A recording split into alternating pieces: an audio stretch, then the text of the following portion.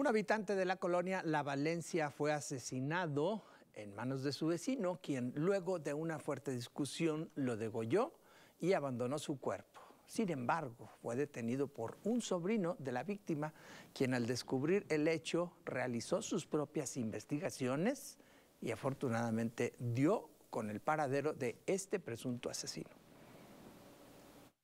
Un hombre de 59 años murió degollado al interior de su domicilio en la colonia La Valencia, donde fue localizado por uno de sus familiares, quien al descubrir los hechos investigó y logró la detención del presunto responsable. Los hechos ocurrieron el pasado domingo 2 de abril, en el domicilio marcado con el número 110 de la calle Zamora, en el mencionado sector, donde Hugo Ortiz Rivas, de 59 años, se lió a golpes con un sujeto, con el que convivía de manera constante. Según vecinos, la riña ocurrió alrededor de las 11 de la mañana y los gritos podían escucharse hasta la calle, por lo que uno de ellos se asomó por la ventana y logró observar y documentar en video el momento en el que el presunto responsable huía. El vecino declaró que pudo captar con su celular a un hombre con vestimenta en color oscuro, el cual se brincaba desde el interior del inmueble y que presentaba manchas de sangre en el cuerpo, por lo que decidió buscar a un sobrino de Don Hugo, el cual habitaba cerca. Salomón se despreocupó de la situación y hasta la mañana de este martes fue cuando decidió buscar a su tío, pues no había tenido noticias de él y al ingresar descubrió la escena del crimen, por lo que llamó a las autoridades. El cuerpo de don Hugo fue localizado tendido en el suelo de su habitación en medio de un charco de sangre y presentaba una herida cortante profunda en la parte trasera del cuello, debajo de la nuca. Salomón no se quedó tranquilo después del asesinato de su tío y comenzó con las investigaciones, determinando que el probable responsable vivía cerca del lugar, por lo que acudió a buscar buscarlo y logró su detención. Personal de servicios periciales llegó a la escena para realizar las indagatorias, apoyados por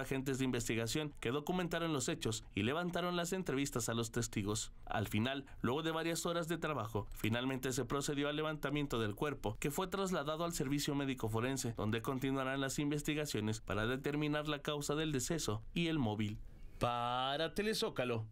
Daniel Revilla.